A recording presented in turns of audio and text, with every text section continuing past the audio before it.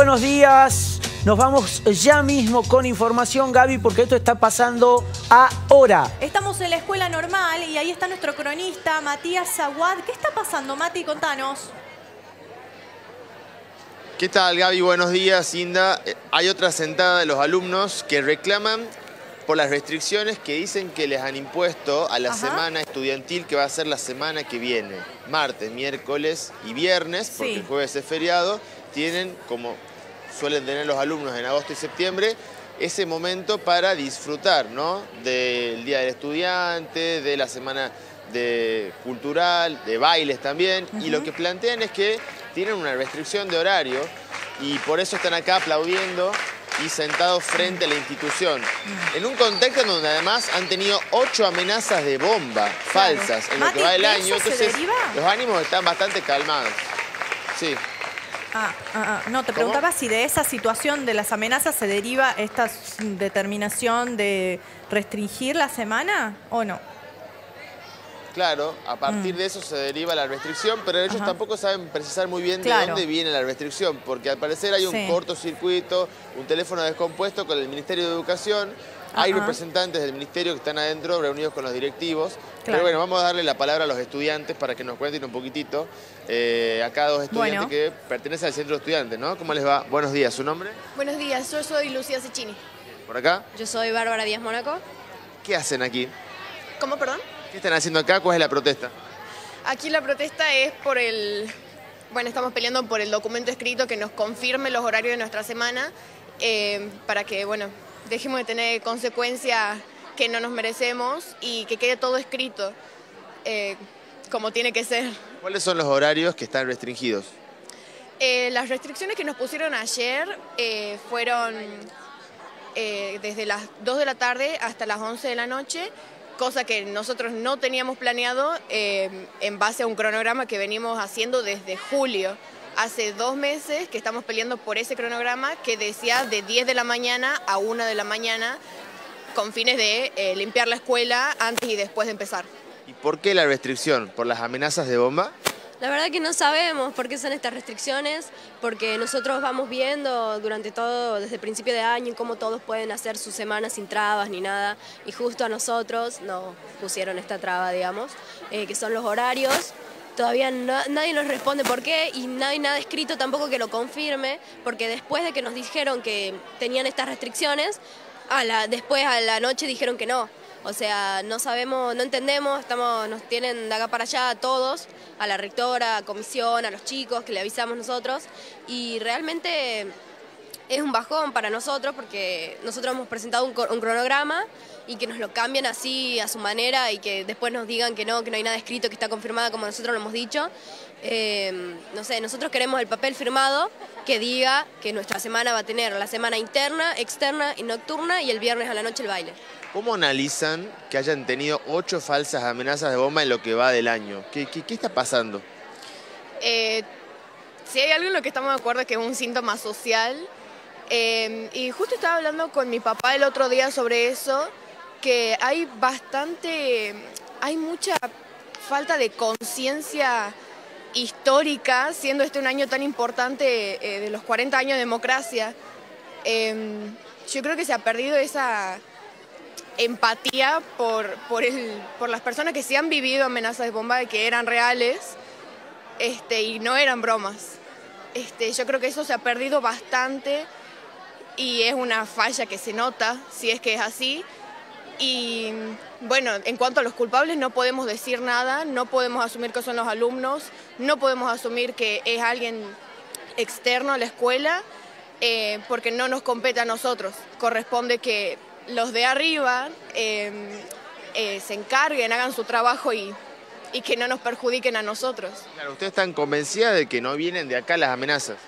Mm, la verdad que yo desde mi persona ya creo que no, después de la sentada esa que tuvimos, eh, viendo todo cómo los chicos se ponen, nos juntamos, nos unimos para que poder tener nuestra semana, eh, realmente ya después de esa sentada te dice que no, no somos nosotros.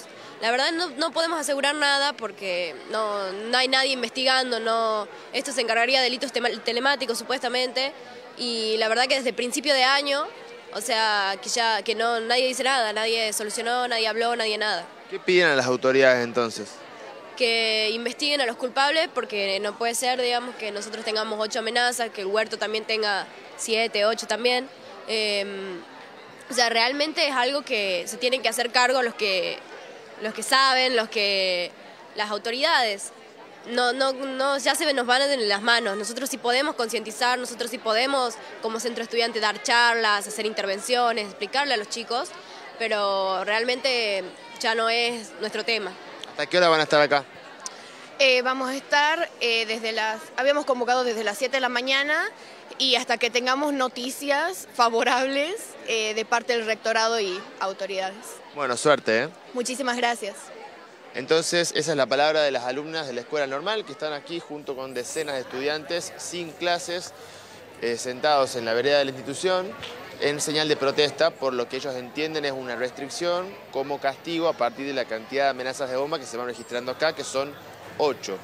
Sí. No entienden por qué todavía no hay una investigación que identifique quiénes serían las o los autores y entonces también le piden a las autoridades que se fijen en eso y que terminen de dar una solución, ¿no?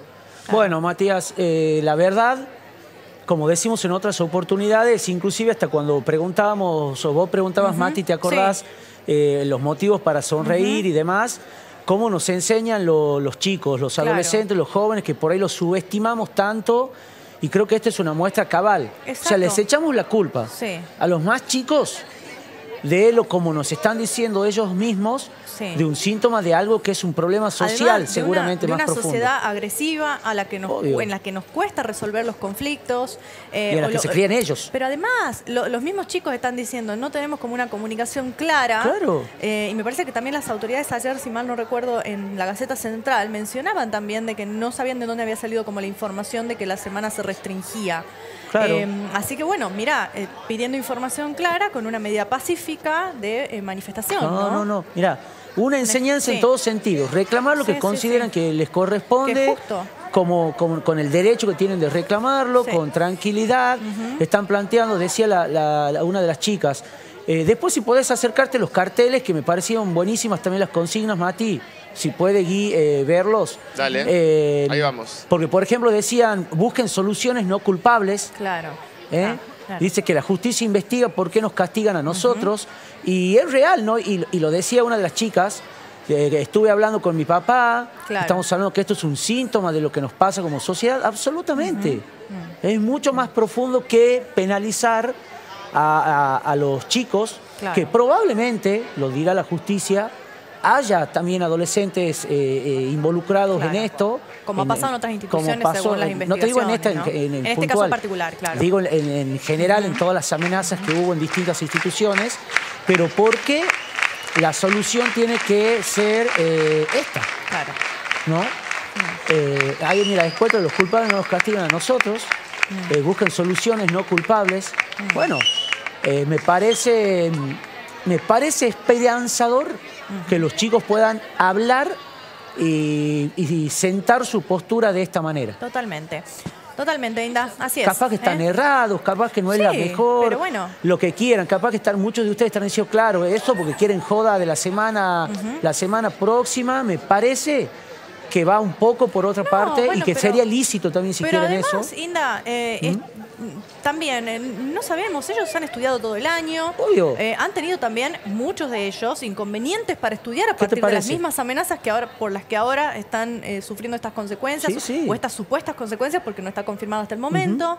Entonces, digo, merecen su semana como todos los que han pasado, los que hemos pasado por el secundario también. digo, Absolutamente, ¿no? Gaby. No es, o sea, la- la- no es solo una, una cuestión de eh, educarse y de estudiar, sino también de compartir, de socializar, de tener valores de comunidad y de un montón de cuestiones que también se hacen en el aspecto social de la educación. ¿no? Así es, así es. Así que bueno, creo que, no, que ojalá nos sirva para, mm, para todos re- reflexionar, involucrarnos.